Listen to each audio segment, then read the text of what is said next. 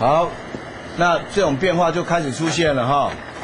你看哈，还有这个是相对的哈。我现在就是让你区分说，它会产生怎么样的布局，它的头跟它身体的位置，哈，它会产生在什么地方？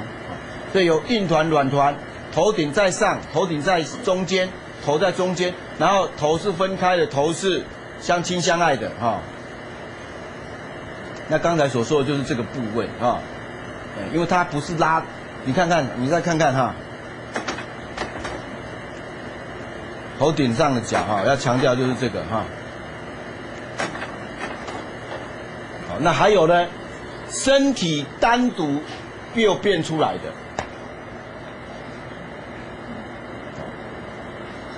那你看看这个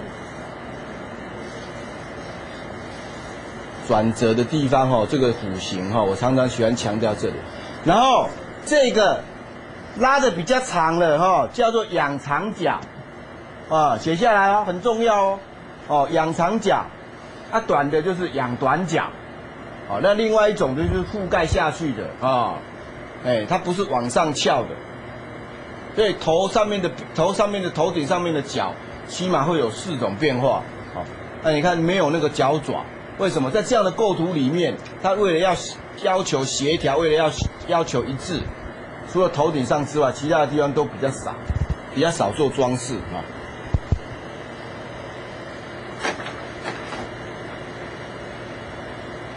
啊，就是这些这些构图以后会出现在哪里？以后你就知道，你就先记住哦。所谓的这个炉也好，这个瓶也好，哦，里面的利用这个笼的造型所组合出来的东西，它会是用什么样方式的？你就这样记住就是了。那一般来说，这个下面的这个地方比较没有变化，因为它本身就是一个香炉的角。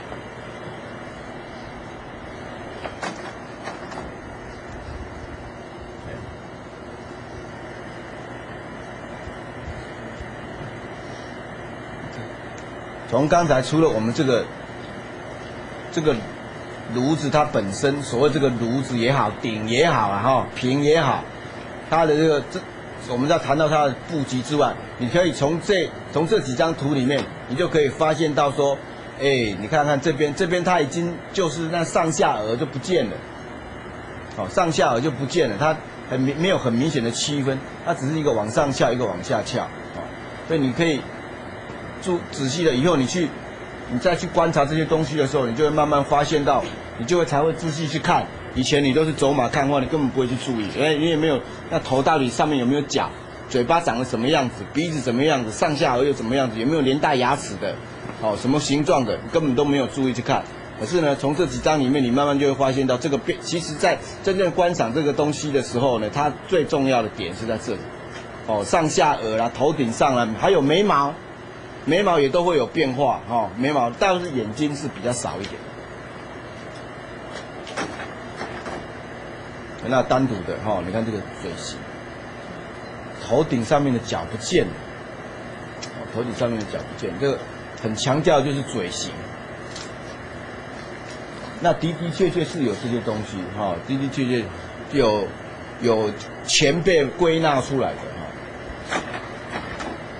好，那现在这个往下的。有没有往下的哦？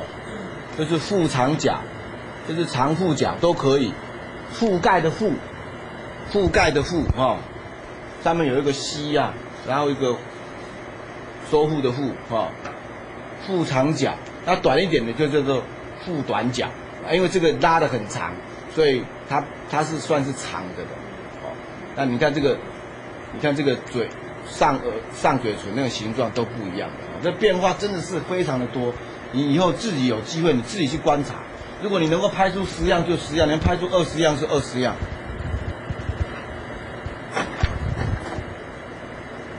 啊，那养长角哦，这这几张就是要让你欣赏角，哦，养长角，养短角，没有刚才那个那么长，养短角。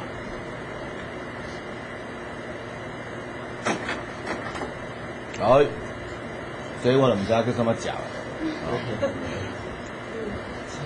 鹿茸角，好吧？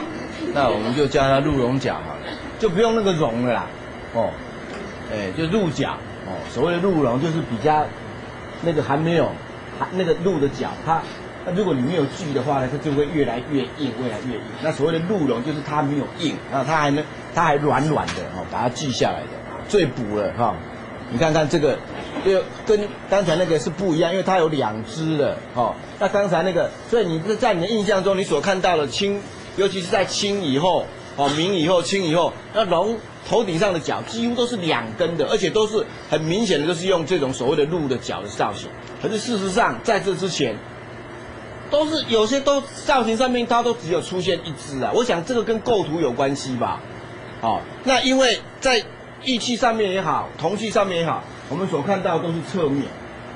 那侧面的话，它没有必要出现两只脚，所以它往往都是只是出现一只脚。啊，是不是因为这样子？我是不知道。但是往往在明清之前，你所看到的脚都是一只的比较多了。哦，那明初那个清啊明啊之后，就会出现两只脚，而且会很像鹿的脚。哦，鹿的头顶上那个角。好，所以给你归纳一下，你现在你就明白哈。归纳一下，有这样子的脚的做法，但是它有它少了一个短的护角，短的护角比较少见的，一般来说都是拉的很长的长护角，因为你如果说在这边就弯了的话呢，可能这个空间就不见了，好，但是的的确确是有短的护角啊，那养长角、养短角是最多了，啊，那这个这个副长角有些时候。旁边呢还会又有别的形状，我们继续看下去啊。看，哦，那事实上那个应该不是角了，它应该就是所谓的发头发发饰的部分哈，发饰的部分，哎，它会做装饰，那不是这样还不够夸张，有些时候更多哈，哎，会产生这种情形，都有。啊你到今天你才恍然大悟，上个礼拜你还打瞌睡，甚至还没有来啊！今天怎么忽然间来这么多啊？上个礼拜都没来哈，上个礼拜没来的话，那里面有考题有试题，你已经少掉了二十分了。哦，还有这种的，哎，那绵羊角的，很有趣的啦。哦，上完这个课，你就以后你去带小朋友去庙里面的时候，你就会带，就会请请他们注意去看，甚至可以让他们描绘一下。你就说哈，你去注意所有的这这所庙里面的龙的脚有有哪些，让他去训练他们的观察力啊，那他就会去找。不相信哈，其实确确是有这样多的东西出来，它不一定是这样长的，也不一定是这样长的，哎，它就是给你绕一圈，好，那这个形状。在商周就有了形状。上个礼拜我就给你们看过幻灯片，哦，那也有是这样长的。刚才那张是往是这样长的，也有这样长的，哦。这应该是仰，也是仰角就对了，哦。那也有只有一边有的，哦，这个都是你要去查哈。你要去查那个，现在是板桥的那个艺术大学里面传统工艺系的系主任哦，王庆台老师，也就是我的老师哈，他所所写的一本书里面有的哈，石龙文的一本书，那本书里面全部都是龙的造型，你有兴趣你就去找，那在懒得去找的人你就来找我啊，我有那本书我可以给你看，那这些。图案都是老师他们经过多年的研究，看过不同的造型，他把它做一个统计下来的。那一般的的确确是有这样的形式，绝对不是用画的啊。如果你有看到你能印证的话，你就拿来给我。实物上面的，因为它这个是归纳的，所以这个角上面的变化也是非常多。那如果你这个时候是养短角，就这么短的话，这旁边这三条就出不来了。对，势必还是要拉长，势必还是要拉长。啊，看一下，变化就这么多。好，清楚哈。现在的重点都是头顶上啊，头顶上。好。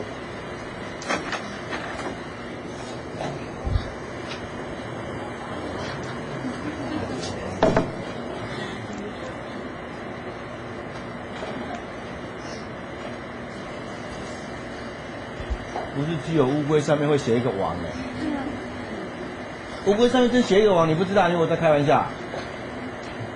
你在南部的话，元宵节在祭祀的时候，你就会看到那个乌龟上面就写一个王，不管是再小的也写一个王。啊，看一下啊，看一下，别急，你看。哦，这个没马，马丹娜的怎么跟得上？哦，这个才夸张哦，对不对？其实这可能是眉毛跟睫毛都混在一起的造型。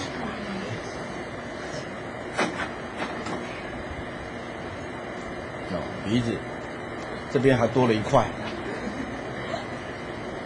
孙叶的老祖宗啊，啊，刀形，上下都是刀形。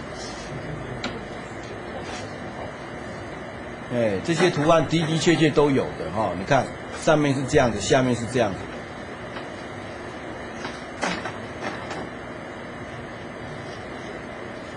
各种不同的变化。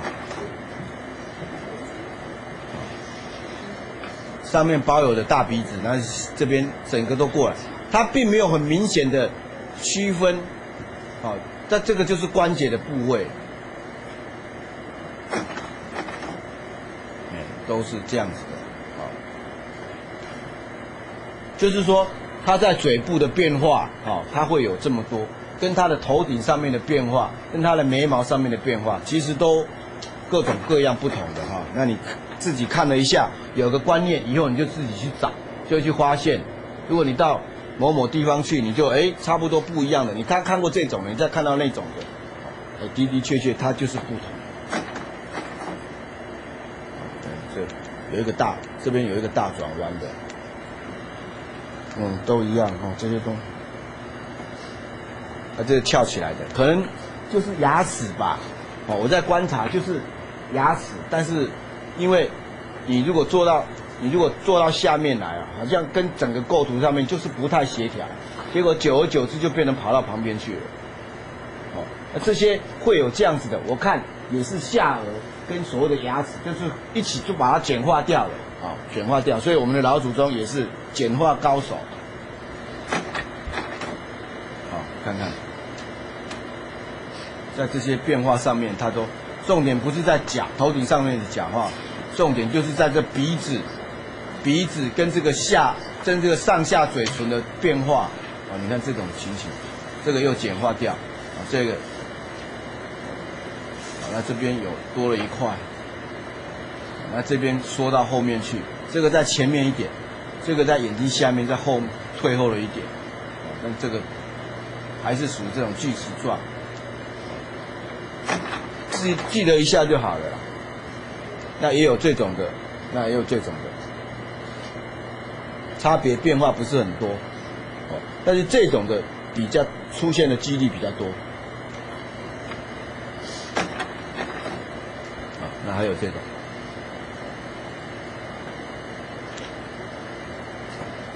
呃，一篇学术论文，很少有人在做这方面的，做狮子的比较多，那狮子的资料啊比较好找，做龙的就比较少，甚至于可能还要到大陆去拍一些资料回来啊。所以有哪些图案呢？一种、两种、三种、四种，这种也常出现。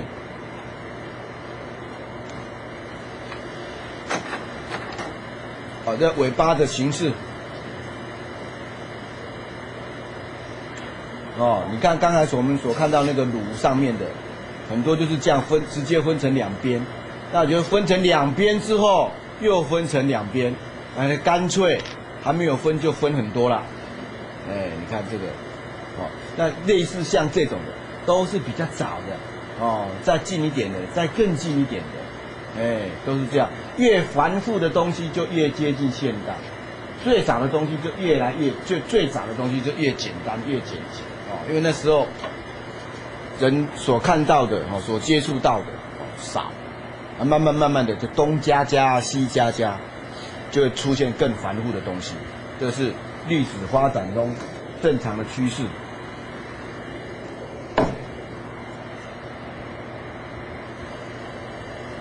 尾部啊，哈，这不是头啊，也不是脚啊，用这三种方式来收尾的啦，哈。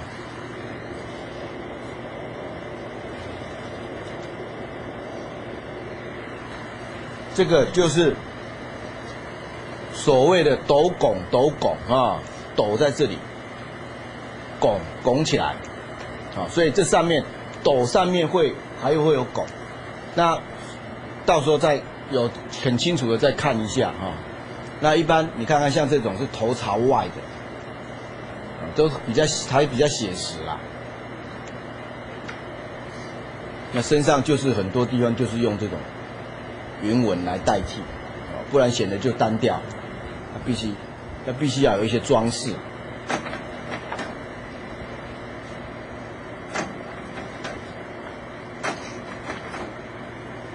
好。看哈，这个就是在腰肚的位置上面所谓的硬团呐，但是它都是走直线的，有没有看到？那这个是什么雕刻的方法？三种方法里面的其中哪一种？有没有人可以回答我？对，压地引起。哦，好，就是压地引起。它的特征就是没有弧度的丢了，然后呢凸。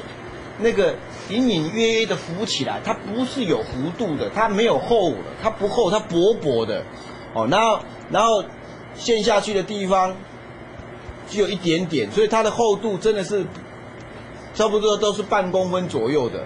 你自己去那边的时候，你再仔细的去观察，哦，所以龙的造型也会用在腰肚上面的，然后经常就是两条龙中间留下。下面那个垂下来的那个磬牌哈，磬牌，到时候再告诉你，磬是一种以前的乐器，哦，那么取其他那个吉庆的庆，所以它经常会有那个东西出现哈，磬牌，一个班，下面一个石，还是说是声音的那个声，下面一个石，啊，就是那个庆字就对了。哦，这个是用硬团的方式啊，哈，硬团的方式，可是做的不是很到地。你看旁边还有一些小弧度，甚至于那个头的部分也是有一点小弧度。但是整体说起来，它是走直角的，是硬团没有错啊。那光是这一块，我就可以考你两题啊。它的刻法跟它的表现是什么法？就有两种方法，一种就是所谓的硬团，另外一种就是所谓的压地引起法。